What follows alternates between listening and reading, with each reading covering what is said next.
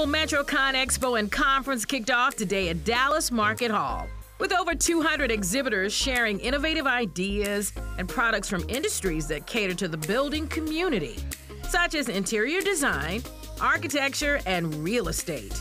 Big part of this is the educational sessions that we host to teach people how to better support those environments and how to do it in an environmentally friendly way as well. The big star of the show, though, was this little guy from Stray Dog, a no kill dog shelter and sanctuary in Gun Barrel City, an hour south of Dallas.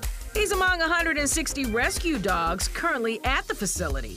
We believe in trying to find a home for every dog, but for the dogs that can't find a home, we provide them a forever home. Stray Dog is hoping to raise enough funds for a new building. They're also hoping to partner with architects and manufacturers. After 25 years, our facilities are really worn out, and we want to be able to get our dogs inside and take care of them in more humane conditions.